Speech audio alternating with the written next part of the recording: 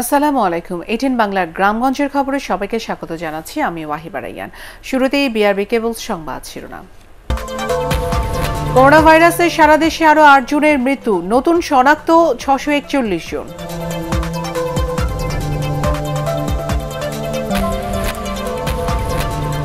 এবার সৌরাওয়ার্দে হাসপাতালের ছেষট্টি জন ডাক্তার, স্বাস্থ্যকর্মী করোনা ভাইরাসে আক্রান্ত, বন্ধ প্যাথোলজি বিভাগ।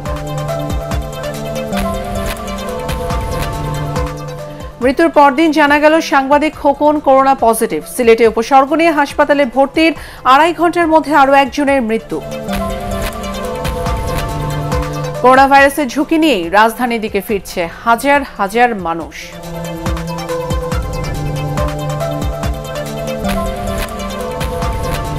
এবং মৌলভীবাজারে দশ টাকা মূল্যে সরকারি চাল চুরির অভিযোগ আওয়ামী লীগ নেতা ও তার ছেলের বিরুদ্ধে।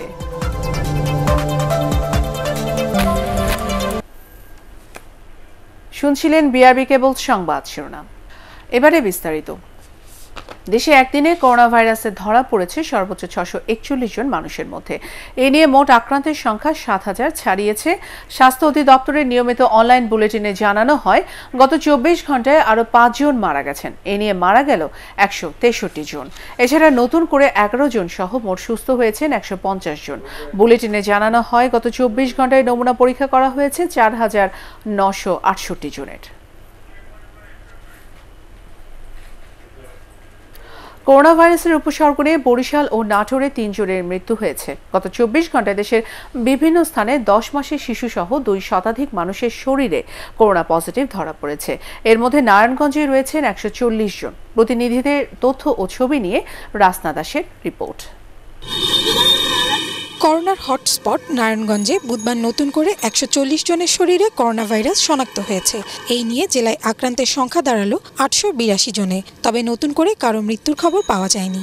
পুলিশ বলছে, এই পরিস্থিতিতেও শহরে মানুষ ও যানবাহনের চলাচল বেড়েই চলেছে। গত দুই দিনে চালু হয়েছে প্রায় দুই শতাধিক গার্মেন্টস।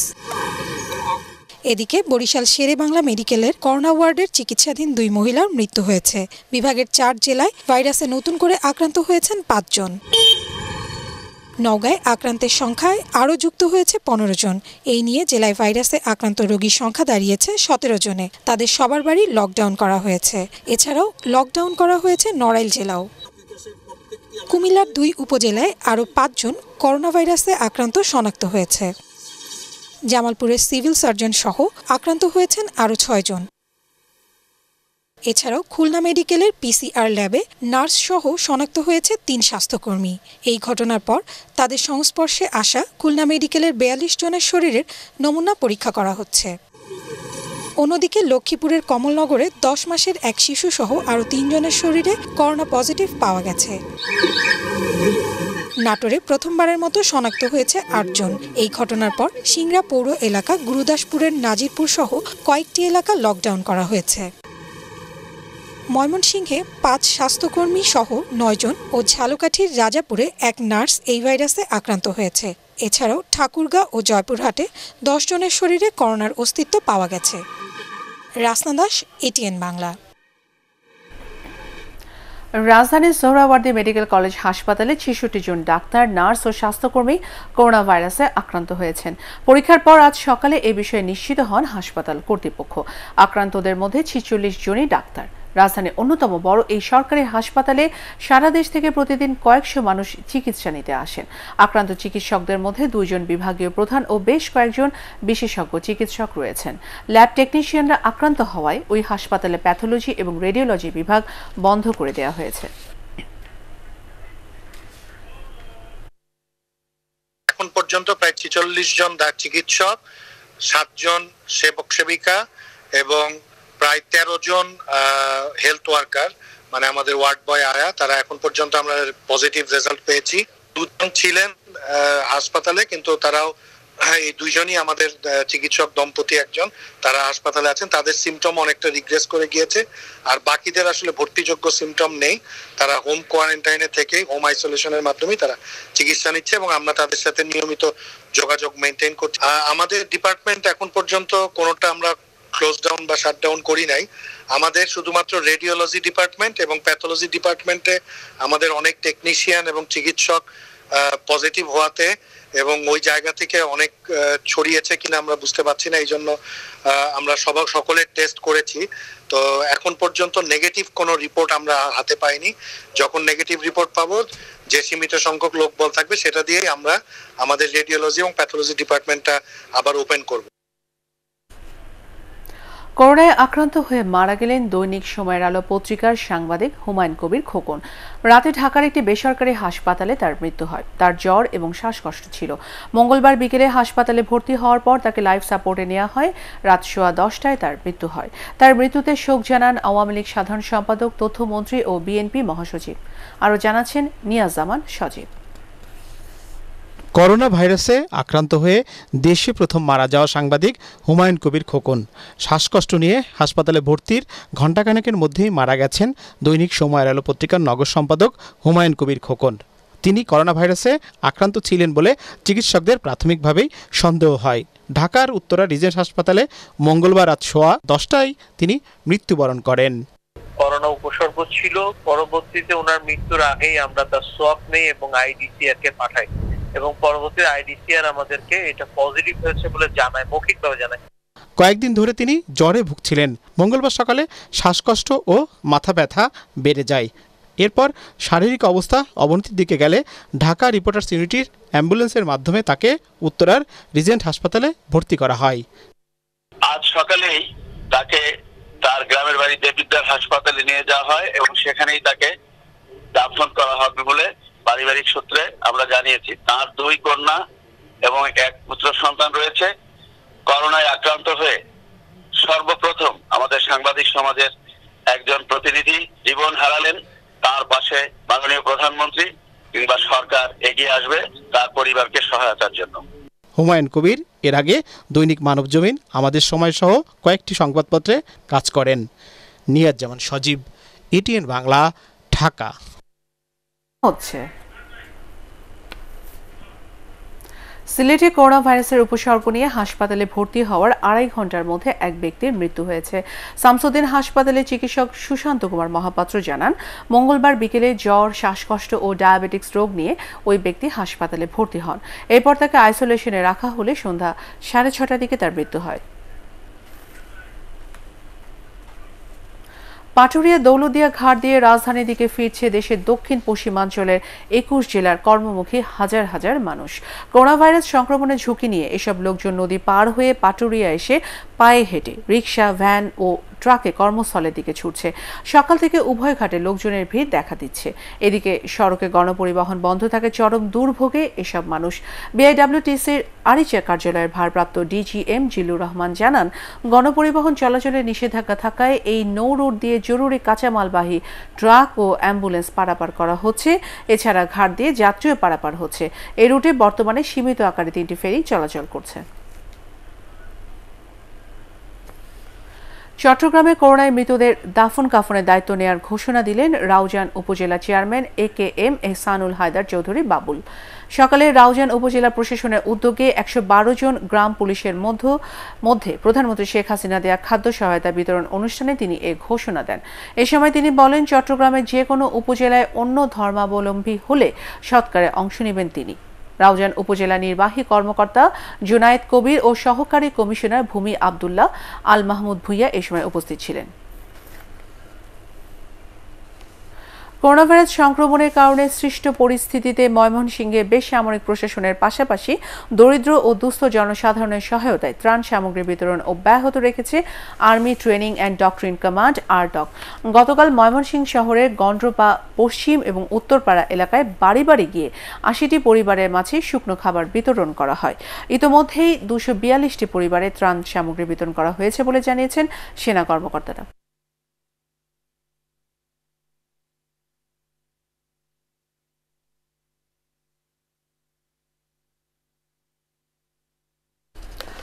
গাজীপুরের নয়নপুর সহ বিভিন্ন স্থানে দরিদ্রদের মধ্যে ত্রাণ সহায়তা দিয়েছে সেনাবাহিনীর সদস্যরা। আর্মি ট্রেনিং অ্যান্ড ডক্টরিন কমান্ডের ব্যবস্থাপনায় এসব সহায়তা দেওয়া হয়। কর্মকর্তারা জানান, গত কয়েকদিনে সাড়ে চার হাজারেরও বেশি পরিবারকে খাদ্য সহায়তার পাশাপাশি মাস্ক ও হ্যান্ড স্যানিটাইজার বিতরণ করা হয়েছে। করোনা ভাইরাসের এই দুর্যোগ শেষ না হওয়া পর্যন্ত এই কর্মসূচি চলবে বলেও জানান তারা। ব্রাহ্মণবাড়িয়ার আখাউড়া স্থলবন্দর দিয়ে সীমিত আকারের সব ধরনের পণ্য আমদানি রপ্তানি শুরু হয়েছে। সোমবার থেকে বন্দর দিয়ে কয়লা শুটকি সিমেন্ট সহ কয়েকটি পণ্য ভারতে প্রবেশ করে।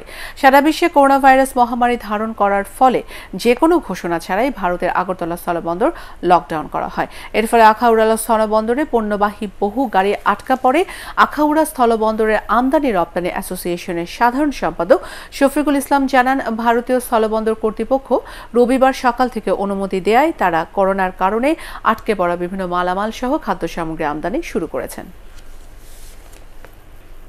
মৌলভীবাজারে ইসলামপুর ইউনিয়নের দশ টাকা মূল্যের চাল চুরির অভিযোগ উঠেছে। স্থানীয় ডিলার এক আওয়ামী লীগ নেতা ও তার ছেলের বিরুদ্ধে তদন্তের সত্যতা পাওয়া গেছে।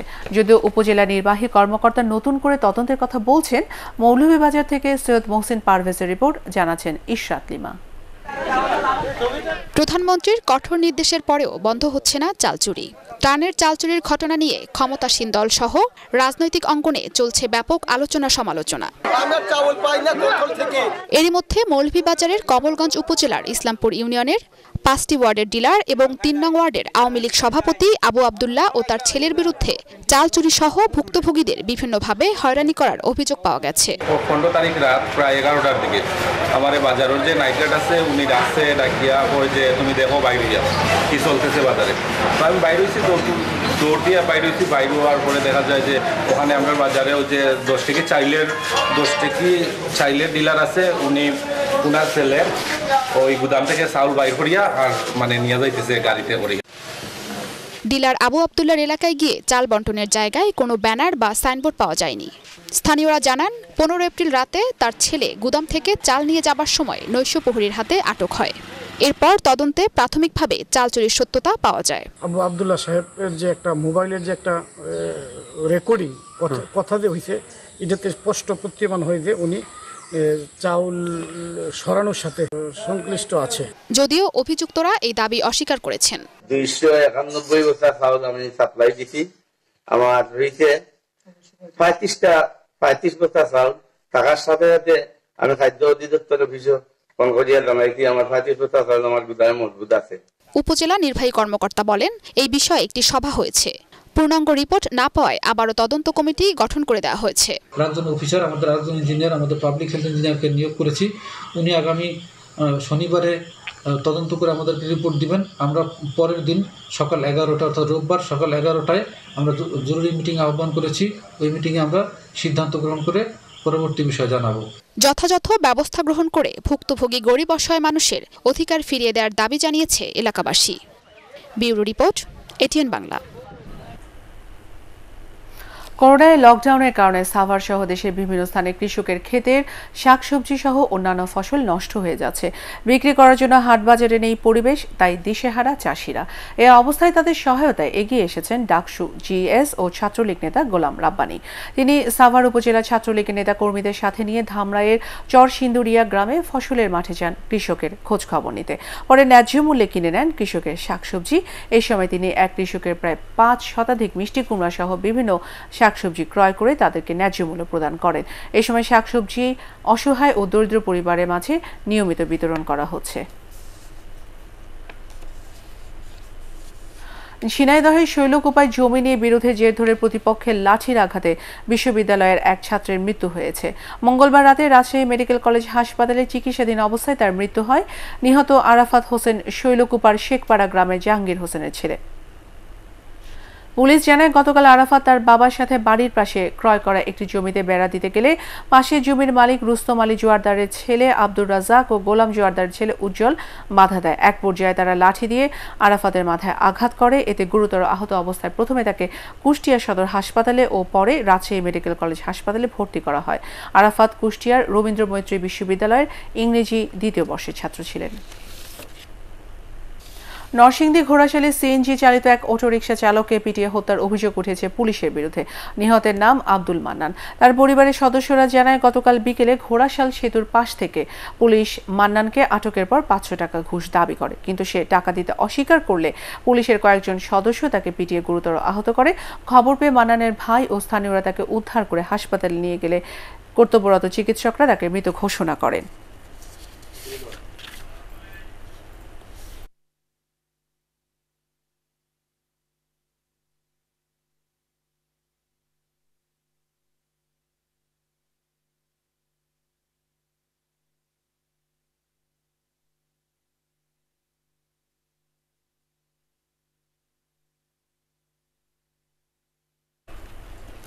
বরিশাল শেরেবাংলা মেডিকেলের সিনিয়র চিকিৎসক আজাদের রহস্যজনক মৃত্যুর ঘটনায় মমতা স্পেশালাইজ হাসপাতালের নয়জন কর্মচারীকে আটক করেছে পুলিশ। একই সাথে এ ব্যাপারে অজ্ঞাত আসামি করে থানায় হত্যা মামলা করেছে নিহত চিকিৎসকের ভাই ডাক্তার শাহরিয়ার। গতকাল নগরীর কালীবাড়ি রোডে মমতা স্পেশালাইজ হাসপাতালের লিফটের নিচ থেকে বরিশাল শেরেবাংলা মেডিকেল কলেজ হাসপাতালে বার্ন ও প্লাস্টিক সার্জারি বিভাগের senior consultant doctor M A Azad সজলের লাশ উদ্ধার করে পুলিশ। সাভারে খাবারের দাবিতে মহাসড়ক অবরোধ ও বিক্ষোভ করেছে পরিবহন শ্রমিকরা। প্রায় দু মাস ধরে কর্মহীন থাকায় খাদ্য সংকটের কারণে ঢাকা আরিচা মহাসড়কে সাভার বাসস্ট্যান্ড এলাকার শ্রমিকরা এ কর্মসূচি পালন করে। এই সময় জরুরি সেবার বিভিন্ন পরিবহন সহ ছোট ছোট অনেক যানবাহন আটকা পড়ে। শ্রমিকরা জানায়, করোনা ভাইরাস সংক্রমণ ঠেকাতে গণপরিবহন বন্ধ রাখা হয়েছে। অথচ শ্রমিকদের জন্য কোনো ব্যবস্থা নেওয়া হয়নি। এতে চরম কষ্টে দিন যাপন করছেন তারা। পরে পুলিশের আশ্বাসে অবরোধ তুলে নেওয়া হয়। সিরাজগঞ্জের শাহজাদপুরে দাম্পত্য কলহের জের ধরে আট মাস বয়সী এক শিশুকে হত্যা করা হয়েছে। এ ঘটনায় অভিযুক্ত শিশুটির মা মুক্তা পারভিনকে আটক করেছে পুলিশ। মঙ্গলবার রাতে উপজেলার পৌরজানা ইউনিয়নের জোতপাড়া গ্রামে এ ঘটনা ঘটে। নিহত শিশু মাহমুদুল্লাহ ওই গ্রামের আবদুল্লার ছেলে। স্থানীয় ইপি চেয়ারম্যান জাহিদুল ইসলাম মুকুল জানায়, আড়াই বছর আগে আবদুল্লার সাথে মুক্তা পারভিনের বিয়ে হয়। বিয়ের এক বছর পর থেকে তাদের মধ্যে দাম্পত্য কলহ চলছিল। আজ ভয়াল উনত্রিশ এপ্রিল, উপকূলবাসীর স্বজন হারানোর দিন।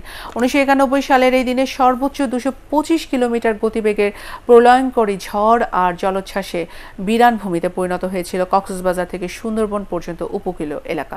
প্রাণ হারিয়েছিল প্রায় দেড় লক্ষাধিক মানুষ, ধ্বংস হয়েছিল হাজার হাজার কোটি টাকার সম্পদ। সবচেয়ে বেশি ক্ষতি হয়েছিল বন্দরনগরী চট্টগ্রাম ও আশেপাশের উপকূলীয় এলাকা। পরবর্তী সংবাদ দেখার আমন্ত্রণ জানিয়ে এখনকার মতো শেষ করছি। সবে ঘরে থাকুন, নিরাপদে থাকুন এটিএন বাংলার সঙ্গে থাকুন। এটিএন বাংলার সংবাদ ইউটিউবে দেখতে ব্রাউজ করুন YouTube slash ATN Bangla news ধন্যবাদ।